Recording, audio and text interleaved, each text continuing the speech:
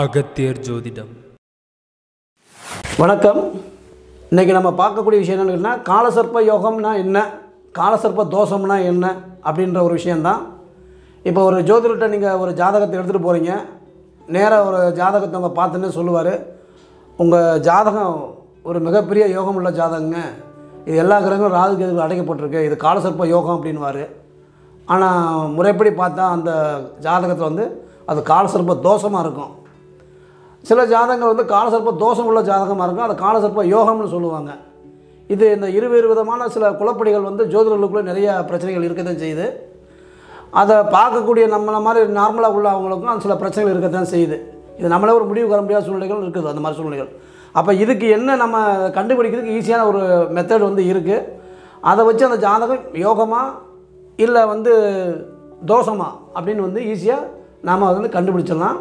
ஒரு சின்ன ரெண்டு ஜாதகம் இப்போ இங்கே உதாரணத்துக்கு போட்டிருக்குது பாருங்கள் இந்த ரெண்டு ஜாதகத்தில் பாருங்கள் இந்த ராகு கேதுன்னு சொல்லக்கூடிய கிரகங்களுக்குள்ள நவ கிரகங்களும் உள்ளே அடங்கியிருக்குது.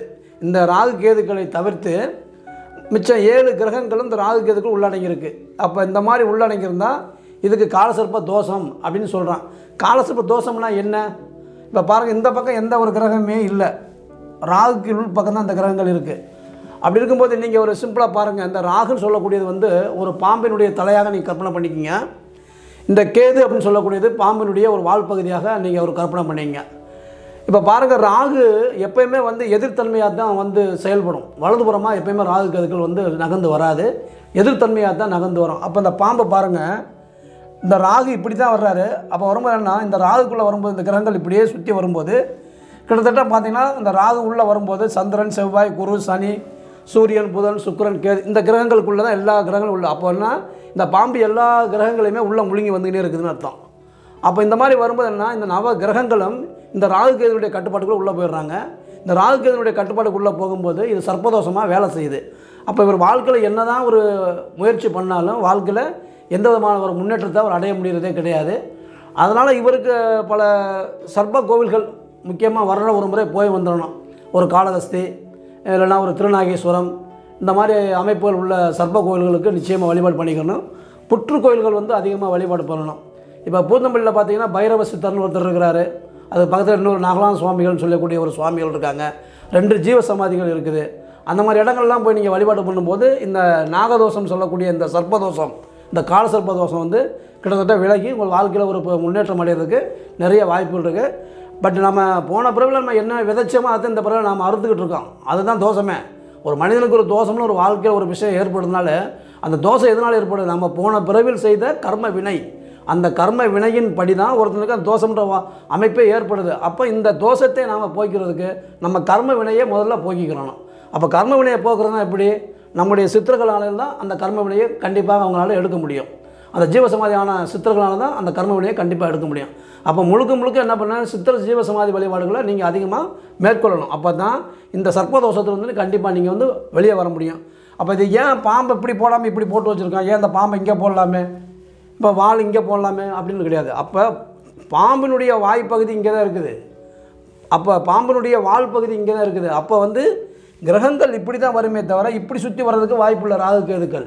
அப்போ அந்த அடிப்படையில் பார்க்கும்போது அதனால் பாம்பனுடைய வாய்ப்பகுதி இங்கே போட்டு அந்த கேது அப்படின்ற இடத்துல வந்து வால் பகுதியை போட்டிருக்குது. இப்படி மாற்றி அதனால தான் வரையலாம். அதனால தான் பாம்பை இப்படி போட்டிருக்குது. அதை வந்து புரிஞ்சுக்குங்க. ஏன்னா ராகு என்பது வந்து தலைப்பகுதி. கேது என்பது வந்து வால் பகுதி. அப்போ அப்படியே பாம்பு வந்து வா- அப்படியே நகர்ந்து இப்படி தான் வருமே தவிர இப்படி போகிறதுக்கு வாய்ப்பு இல்லை. அதனால் இதை புரிஞ்சுக்குங்க. இப்படி இருந்தால் மட்டும்தான் இது காலசர்ப்ப தோஷம். இது காலசர்ப்ப யோகத்தில் இந்த அமைப்பு வராது. அடுத்து பாருங்கள் காலசர்ப்ப யோகம். இப்போ இங்கே அதே கிரக அமைப்பு போட்டிருக்கேன். இது காலசர்ப்ப யோகாதிபதி இதே எப்படி நம்ம எப்படி எடுத்துக்கணும் இதுலேயும் பாருங்க இதில் இதே மாதிரி தான் ராகு கேதுக்கள் எல்லாமே கிரகங்கள் அடைஞ்சிருக்குது.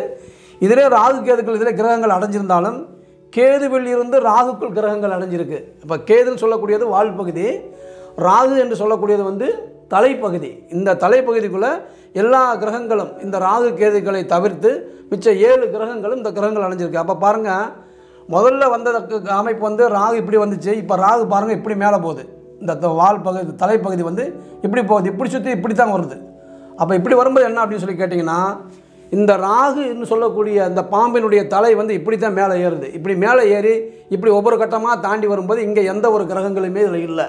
அதில் எந்த ஒரு கிரகங்களுமே இதில் இல்லை அப்படின்னும் போது என்ன ஆகுது அப்படின்னு சொல்லி கேட்டிங்கன்னா இதில் நவ கிரகங்களும் ராகுக்கு எதுவும் பிடிக்கல வரலைன்னு அர்த்தம். அவ்வளோதான் அப்போ நவ இந்த இதில் வந்து நவ கிரகங்களும் ராகுக்கு பிடிக்கல வந்துடுது இந்த அமைப்பில் வந்து ராகு இப்படி மேலே ஏறும்போது இந்த ராகுக்கு இந்த இந்த பாருங்கள் இந்த பாயிண்டில் வந்து எந்த ஒரு கிரகங்களுமே இதுக்குள்ளே இல்லை. அப்போ என்னாச்சு அப்படின்னு சொன்னால் இந்த ராகு கேதுனுடைய சுற்றுக்குள் வந்து எந்த நவகிரகங்களும் மாற்றலை அப்படின்றதுனால இது வந்து காலசர்ப்ப யோகம் இது வந்து காலசர்ப்ப தோஷம். இப்படி தான் காலசர்ப்ப யோகத்தையும் காலசர்ப்ப தோஷத்தையும் இப்படி தான் நம்ம பிரிக்கணுமே தவிர அதை விட்டுட்டு இந்த ராகு கிரகங்கள் அடைஞ்சிட்டாலே இது காலசர்ப்ப தோஷம்ன்றது இல்லை காலசர்ப்ப யோகம்ன்றது எதாவது ஒன்று சொல்ல வேண்டியது எதாவது ஒன்று சொல்லிட்டு அவங்கள வர்றவங்கள குழப்ப வேண்டியது இதே நிலை தான் ஓடிக்கிட்டு இருக்குது. அதனால் கொஞ்சம் இதில் தெளிவடைஞ்சிக்கங்க. இப்படி இருந்தால் தான் தோஷம் யோகம் அப்படின்ற அமைப்பு வேலை செய்யும். பட் நான் சொன்ன அந்த பரிகார முறைகளை கரெக்டாக நீங்கள் அதை கடைபிடிங்க. நிச்சயம் அந்த காலசர்ப்ப யோகா அமைப்புன்ற உங்களுக்கு கிட்டத்தட்ட வேலை செய்யும். பட் காலசர்ப்ப யோகத்தில் என்ன அப்படி விஷயம்னு சொல்லி கேட்டிங்கன்னா அந்த யோகம் இருக்கக்கூடியவர்களுக்கு இந்த இந்த அமைப்பு உள்ளவர்களுக்கு இந்த காலசிறப்பு யோகம் உள்ளவர்களுக்கு நிச்சயமாக வாழ்க்கையில் ஏதாவது ஒரு விஷயத்தில் அவங்க கண்டிப்பாக முன்னேற்றத்துக்கு போயிடுறாங்க அவங்க. அவங்க ஏதாவது ஒன்று செய்ய போக ஏதாவது விஷயம் ஏதாவது விஷயத்தில் அவங்களை பெரிய முகந்த உயர்ந்த நிலைக்கு கொண்டு போயிடுது.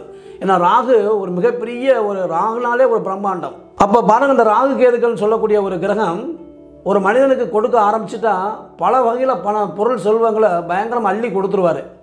அப்போ இந்த யோகம் வந்து ஒரு மனிதனுக்கு இருந்தால் எந்த நேரத்தில் எப்படி ஒரு பெரிய முன்னேற்றத்துக்கு வராருன்னே சொல்ல முடியாது. இந்த காலசிற்ப யோகம் யாராருக்கும் இருக்கலாம் அவங்களாம் ஒரு முப்பத்தி மூன்று வயதுக்கு மேலே ஒரு மிகப்பெரிய முன்னேற்றத்தை கண்டிப்பாக அவர்கள் அடைந்தே தீருவார்கள். அவங்க எதை செஞ்சாலும் அவங்களுக்கு வந்து தொட்டது தொடங்கும் அந்தளவுக்கு வந்து அமைப்பு அவங்களுக்கு கண்டிப்பாக ஏற்படும். அவங்க ஏதாவது ஒன்று ஒரு ஆரம்பத்தில் ஒரு சின்ன விஷயத்த ஏதாவது ஒரு பிரச்சனை ஒரு இதாக ஆரம்பிப்பாங்க. அவங்களுக்கு மிகப்பெரிய உயர்நிலைக்கு அவங்க வாழ்க்கையில் உயர்வடைஞ்சிருவாங்க. ஆனால் அந்த காலசிற்ப தோஷம் இருக்குது பார்த்தீங்களா அவங்க என்னதான் வாழ்க்கையில் என்னதான் தான் முயன்று பார்த்தாலும் அவங்க வாழ்க்கையில் வந்து ஒரு முயன்று அவங்க ஒரு தோல்வி அடைஞ்சதான் மிச்சமாக இருக்கும் இதில். வெற்றி அடையக்கூடிய அமைப்பு அவங்களுக்கு வராது.